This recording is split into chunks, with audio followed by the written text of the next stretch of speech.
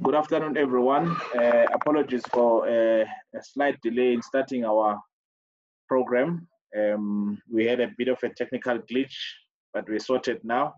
I think without further ado, um, we're going to hit straight on to the topic of today, where we are looking at um, reforming teams for high performance and excellence.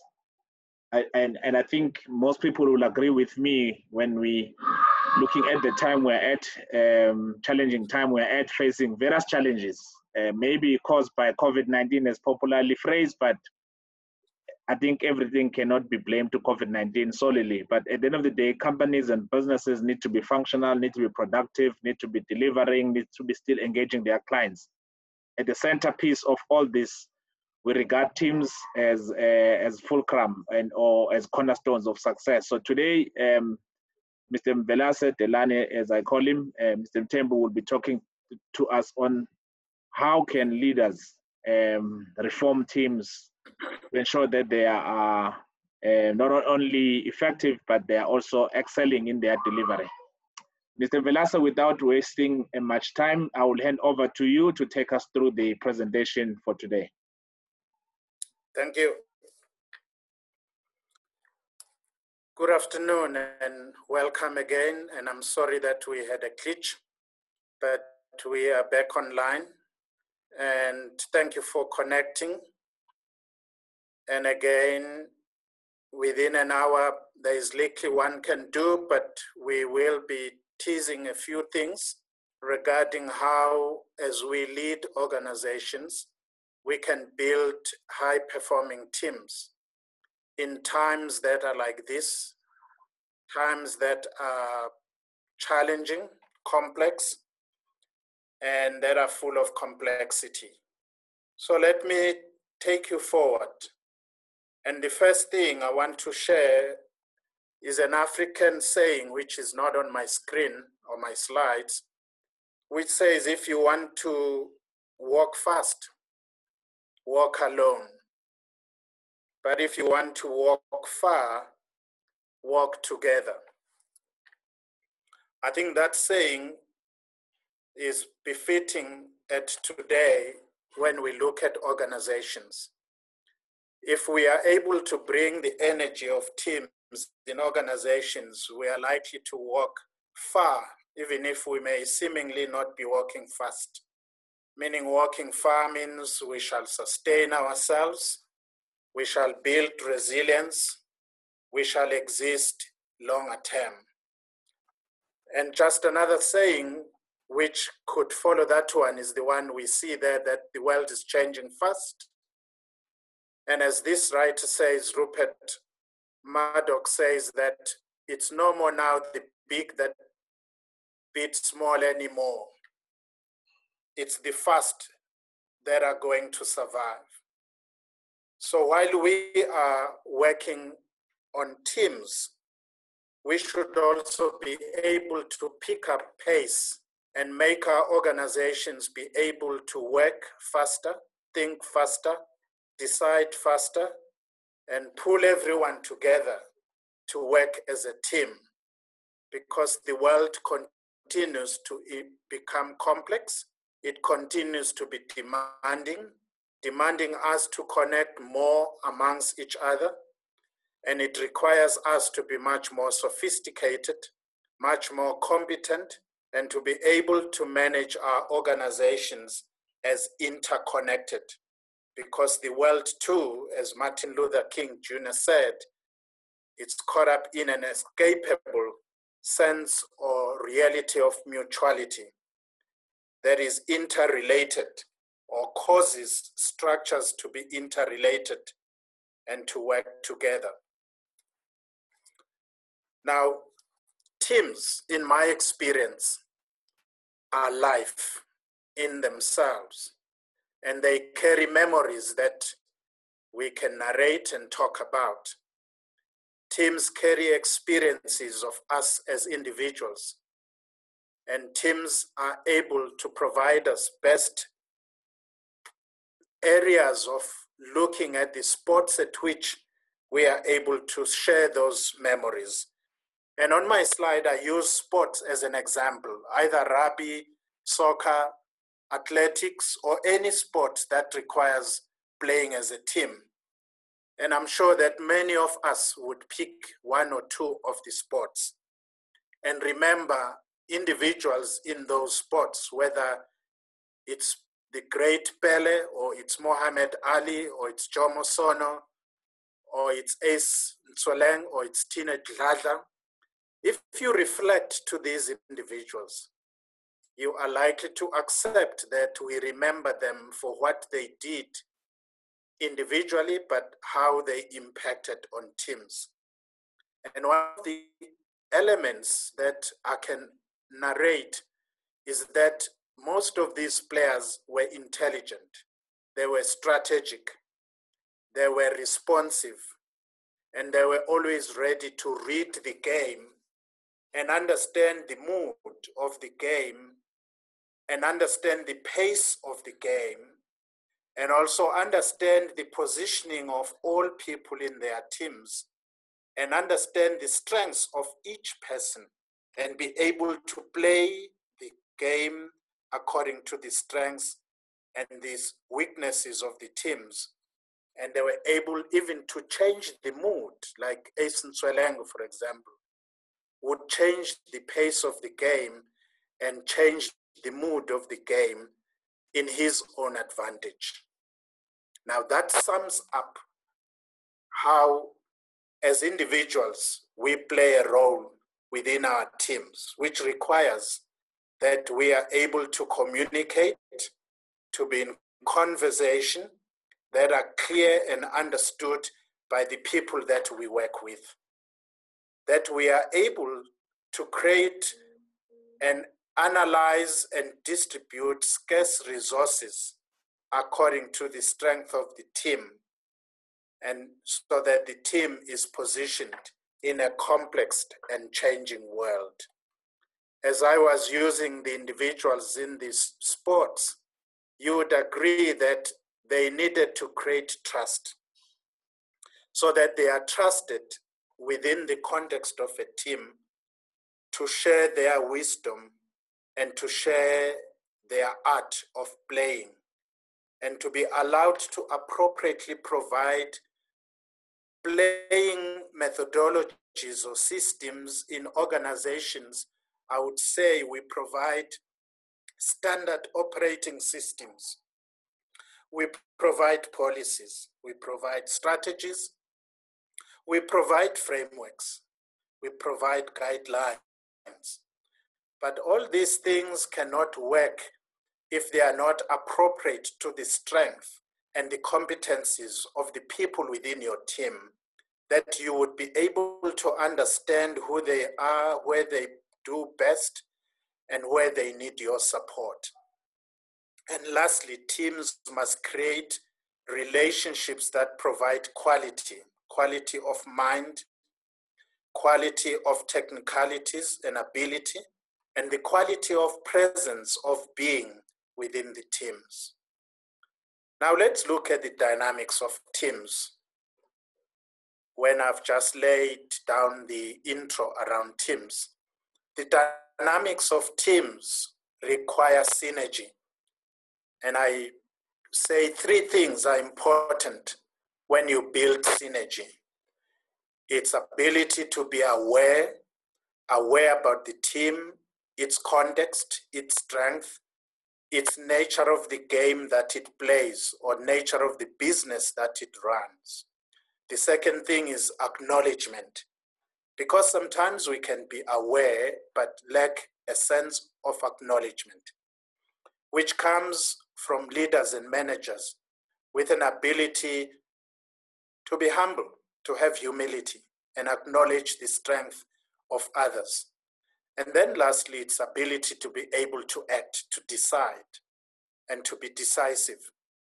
In the coronavirus, there is a debate at the moment whether the president has been undermined or the president is leading, or whether Minister Zuma, uh, Dlamini Zuma, is doing whatever they say he's, she's doing.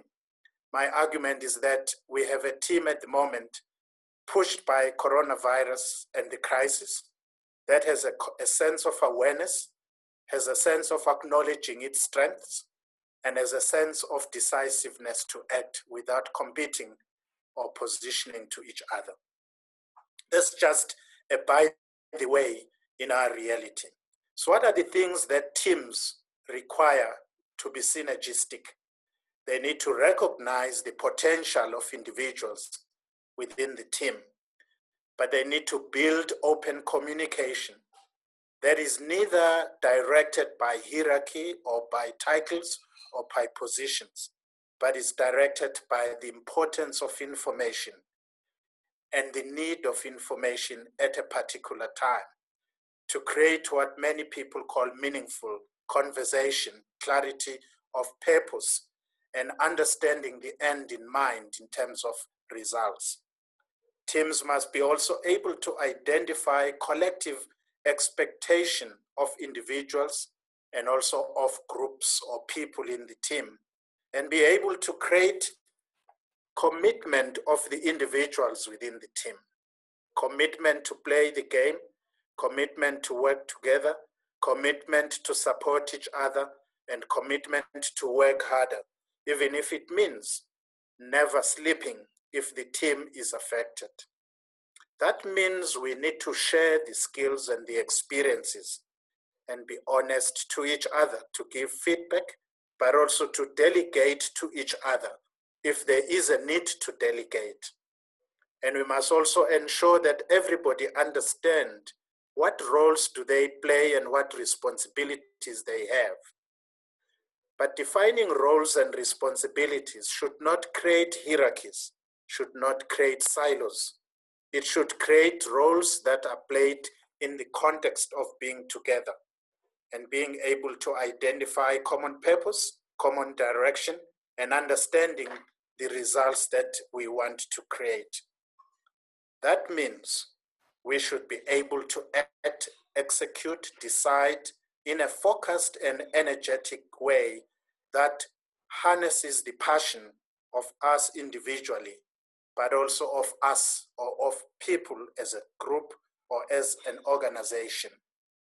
Therefore, in the current scenario we are in, we are called to learn new behaviors and new styles of becoming members of a team with an ability to sustain ourselves throughout a crisis. At the moment, is the coronavirus crisis, where organizations are pained and struggling to operate in a norm, learning in what many are calling a new norm. Just a few things that I would tease. I'm not going to stay long, but if we want to build synergy in our teams, we should understand the model of communication that Grinder and Bandler are sharing with us. That 70% of our way of talking and communication is about the words we share, but 38% of what we say depends on my tone and my pronunciation uh, of the English that I'm speaking or any language you speak. But more so, we should understand that when we are in an interconnected world and we are connected with teams either through Zoom or through Skype, we miss the 55% of the body language. We must then pay more attention to how we connect and how we speak and how we enhance clarity of communication by the way we speak on the 38% and on the 7% and build new signs or new ways of understanding our body language. I think this slide is at the core of enhancing understanding and team dynamics. And leaders better pay attention to understand that it's not what they say that matter, is how they say, and it's at what point do they say what they say. The other slide says that when we work as teams, we must learn to see each other. When I see you and you see me, and when we both see each other properly, we are able to move forward better, faster, and with clarity. So everything we do depends on the quality of my thinking it also depends on the quality of my attention attention to each other, attention to the members of the team, and attention to the clarity of the roles. So my thinking and my quality of attention determines the quality of the team and the team's understanding. So these two slides are very important. The technology of communication and the technology of seeing and paying attention. Now let's move on and look at what many of you know, and I'm not going to spend a lot of time because you all understand different levels of teams. You know what forming is about, performing, but I've added two things there. I've ex- added excelling and sustaining. These are not hierarchical.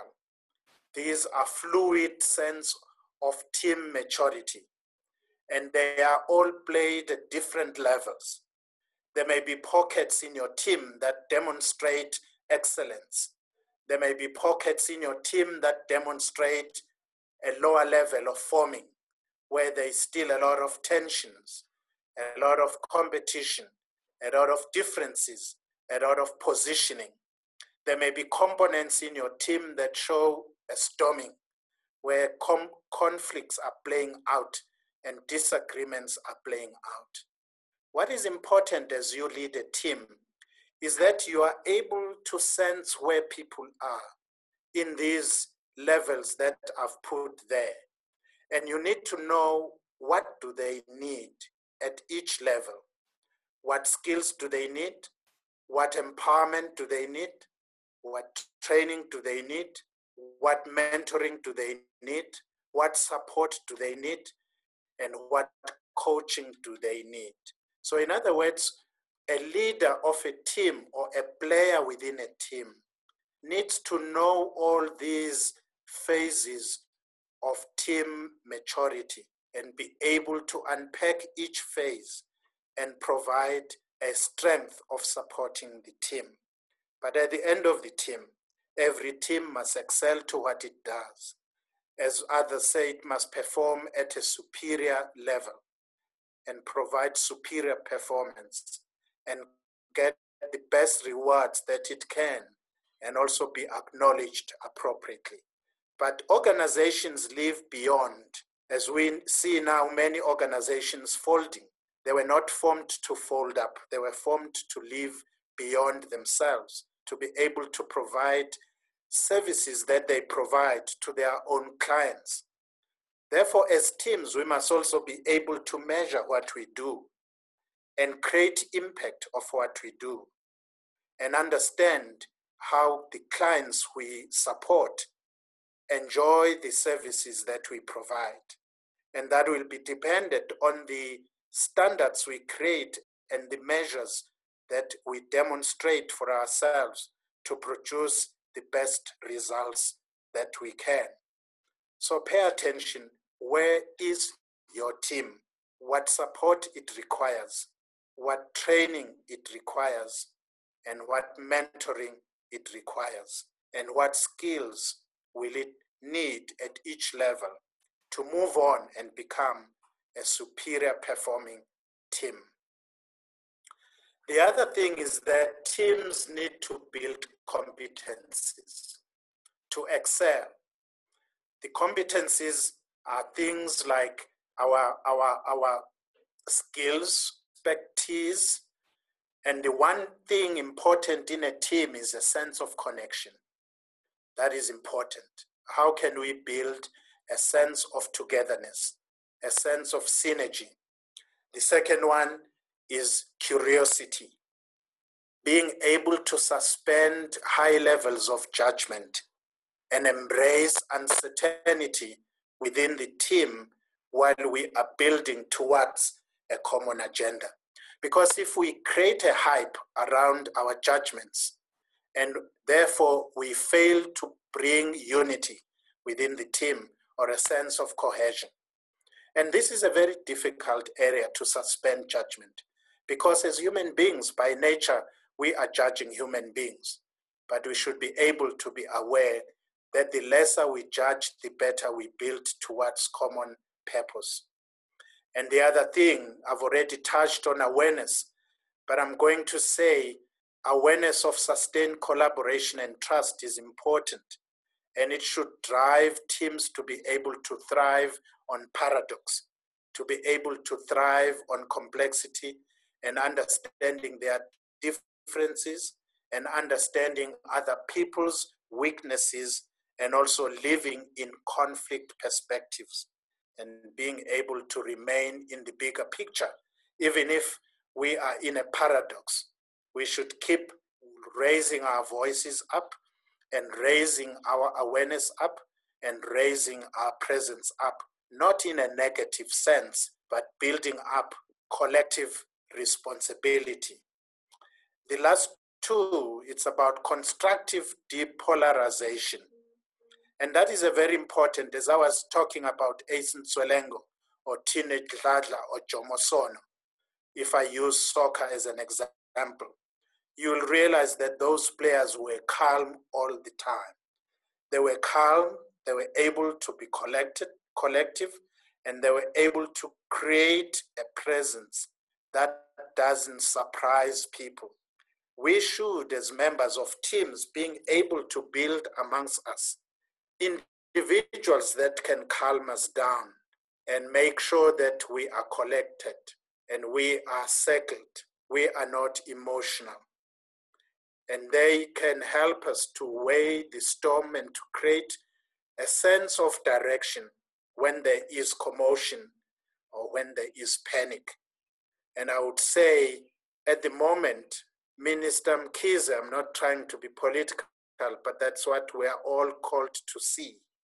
Minister Mkhize has that sense of calmness, that sense of collectiveness, that sense of assurance, that sense of distilling facts from perceptions, and is able to keep us together.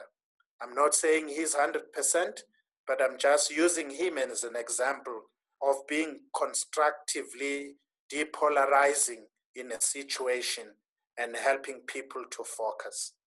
At the end of the day, authority is important within teams, but it is not the authority that is top down.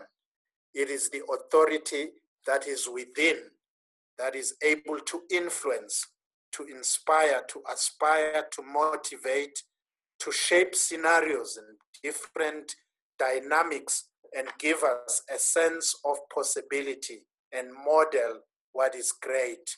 Those are competencies which, for me, are critical to build excellence within teams.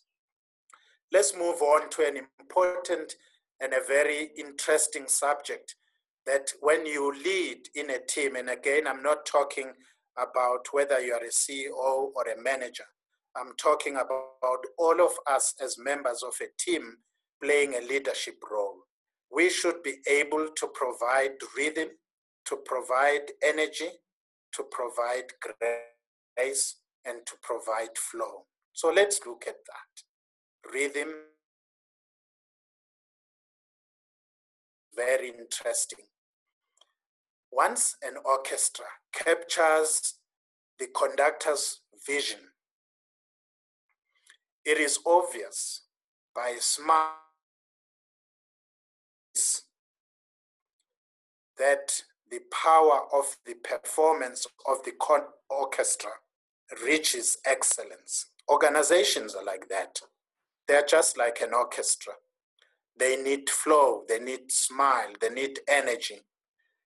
And we, as leaders and members of teams, we must ask ourselves that we provide and generate a smile in the faces of members of our teams can we generate energy?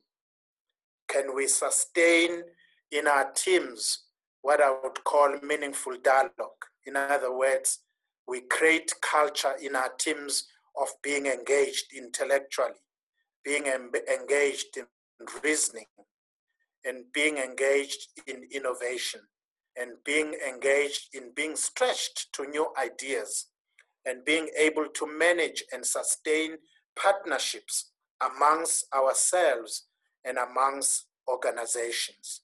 Being able to identify and develop champions because champions are not identified through positions or titles. Champions are amongst us. It may be the lowest member of the organization who becomes a champion of a team. It could be, if I use a soccer scenario again, it could be a goalkeeper, or it could be a striker, or it could be someone at the center of our play who becomes the champion. We must also be able to build stories that excite us, that highlights in us successes, highs and lows, and those stories carry the legacy of organizations, carry ownership, and carry accountability. We should be able to develop, as I've said earlier, systems that drive teams. And I think this is one element in managing and leading organizations that post COVID 19 is going to be a challenge. What systems are we creating now that will not be the same systems we have used before? That will encourage collaboration, will encourage inclusion, will encourage integration, and will encourage champions within, not champions in positions, but champions within teams and champions within organizations and reward them appropriately. That is the greatest challenge that human resource practitioners are going to be facing moving beyond the coronavirus phases or moving beyond the lockdown periods that we are currently in. How do we change systems to support organizations to create distant virtual teams and create flow and bring a smile within organization and be able to measure these and provide new financial models of paying people, rewarding people, and acknowledging people differently while you don't see them and while they work in their own workspaces at their own homes. These are challenges that we are going to face as we move forward. The next thing is how do we embed within teams a culture? Not just an incident or a phase that disappears, comes in, and goes. How do we sustain a new culture? That culture will start from creating personal mastery, creating individuals within teams that lead themselves. How that is done, organizations need to invest in building personal mastery because a team is strong based on the individuals of the team. You will not have a strong team if you have got weak individuals. You can't have a strong Springbok team if you've got weak players. You can't have a strong Bafana Bafana team if you have got weak players. You need strong personal masterly built individual in the team. The second thing, you need social mastery. These individuals must be able to read and be flexible to relate to each other emotionally, mentally, and have a sense of achievement that build social mastery, understanding their context, understanding their clients, understanding the people that they serve, and understanding the competitors in the context of their operation as an organization. The third thing is that we must build what I call stretch. We must be able to challenge each other every day, challenge each other every moment, every minute, every time to work better than what we are doing today. At the same time, create harmony. At the same time, create creativity. At the same time, deliver on the goals that we have agreed. We must also be able to create energy create the smile that Jack Welch talks about. The late Jack Welch was able to create energy, create a smile in organizations. and not bossy people around, not threaten people around. When you enter a room as a team player, as a team member, or as a leader of a team, people must be relaxed, must feel inspired, must feel energized, must remain on the edge, but being able to look forward to work together with you. We must also create holicism, head, heart, feet, and guts, and create in all these things a sense of alignment, a sense of meaning, and a sense of team imperatives, more over and above personal interest. Let me repeat that.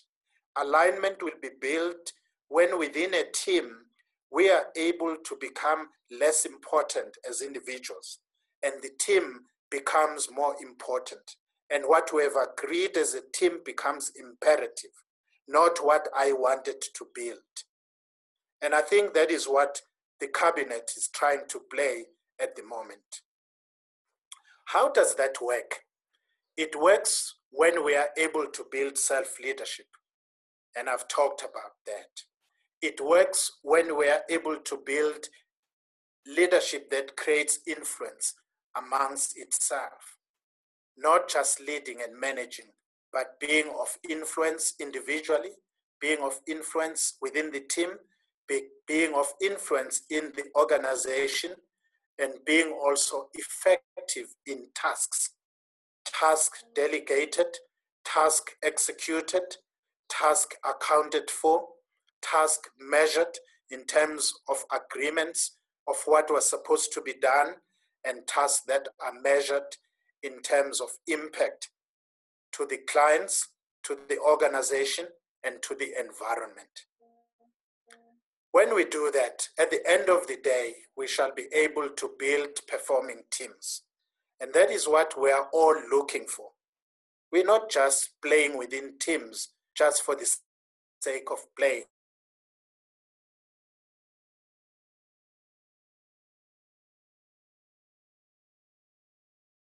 Quotation tells it all. When knowing others may be intelligence, but knowing yourself is wisdom.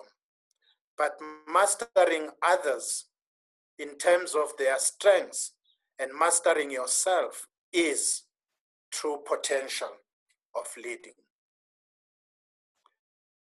So, what is key for me in this quotation is intelligence, knowing others.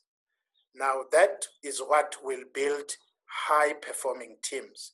If again use the example of one of the greatest coaches that I've seen, Wooden, who coached the greatest basketball team in the world, he would say that teams work not to win, but they work to have fun.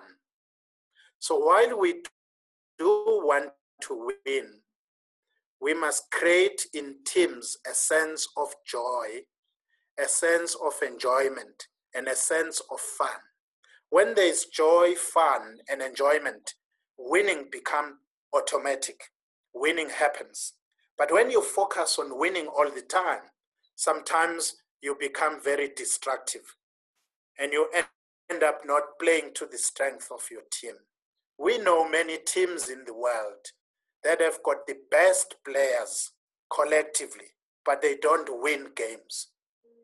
They don't win games because they've not created fun, they've not created synergy, they've not created joy. So teams need to build this aggressive sense of growth, but that has got the simplicity of fun in it so that people can play and enjoy working within teams. The other thing is that teams must be able to play to their strengths of generational shifts, mixing each other to be able to sustain teams for the future. Generational mix is important in our organizations. Generational mix is important to build innovation, to build energy, but also to build strengths for success. But the last two are important because as we are caught up today in lockdowns, we need to build technology that supports us, that support virtual teams, that support us working from home, that support us to work in multi multiple environments, that support us to challenge our system and also to have multiple accountability. I argue, and this will disturb some people, I argue that moving forward beyond the coronavirus, we should allow our employees to work in more than one organizations because you are not going to keep your employees 100% as before. They may work 50% and still deliver everything that you want. And they can be contracted to somebody else to work another 50% and they provide the support that was required. But you pay them fully and they get paid also on another side because they work from home. They don't have to be in a desk or in an office. They can work in a mobile setting.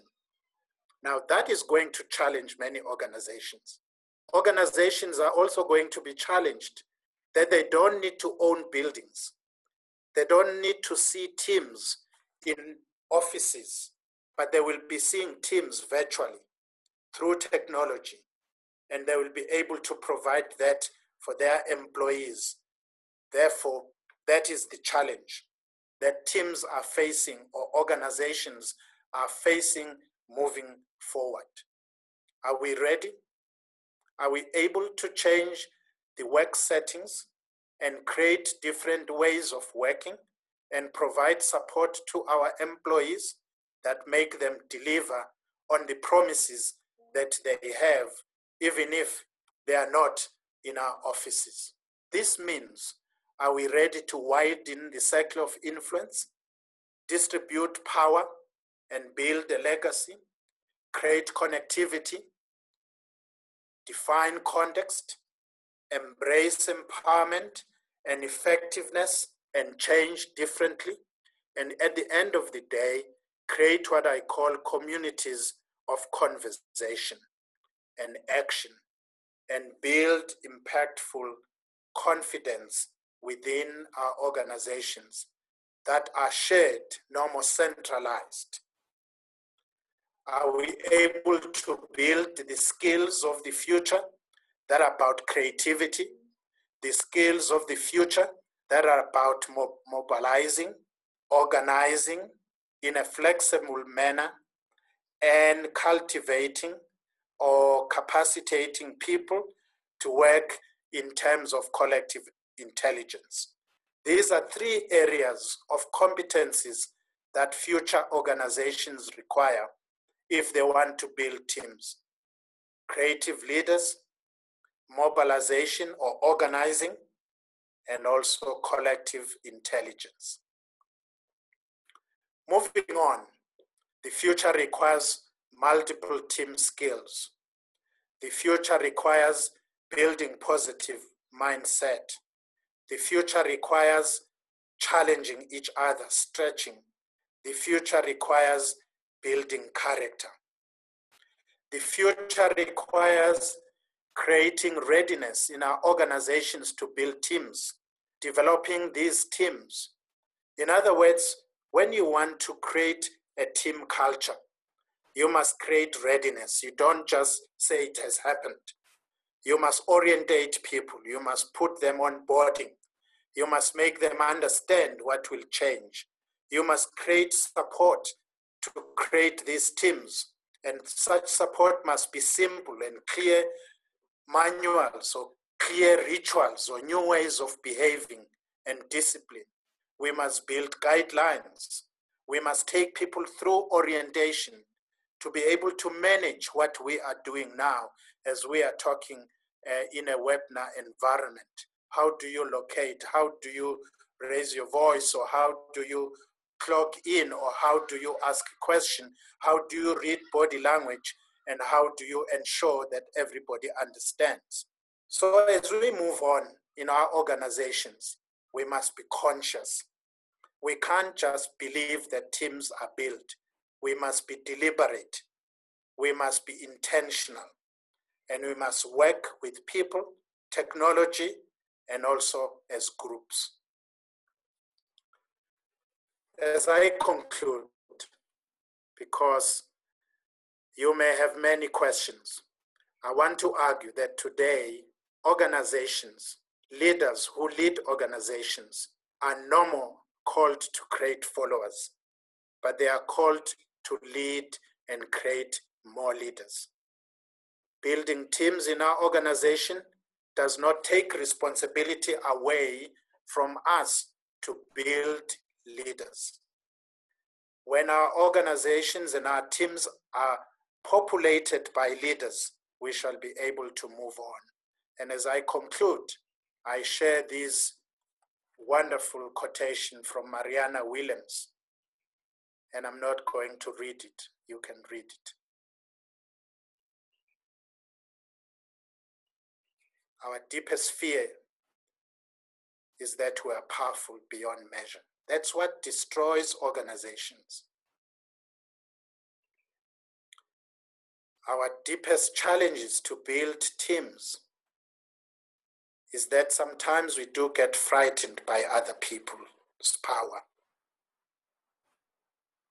Our deepest challenge is sometimes forgetting to know that every individual is brilliant, gorgeous, talented, and fabulous. Our deepest failure in building teams and sustaining organizations is when we forget that everyone, whatever religion you believe in, we are all made by the Creator with gifts that are given to us, not to be held by ourselves, but to be used to empower others, to enlighten others.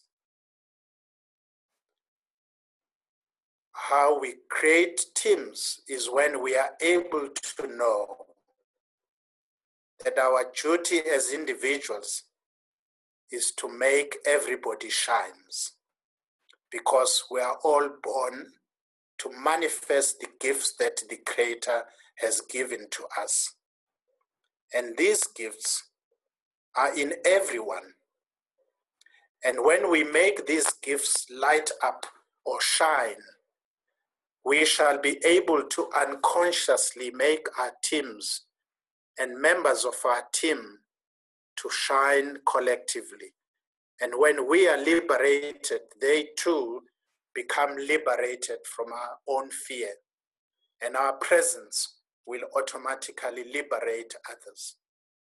This is a powerful quotation that was said by Madiba in 1994 in his first speech in Parliament when he became the first black president of the country. That demonstrate what was in his mind and in his wish and in his heart. Let's go on and create teams. Thank you.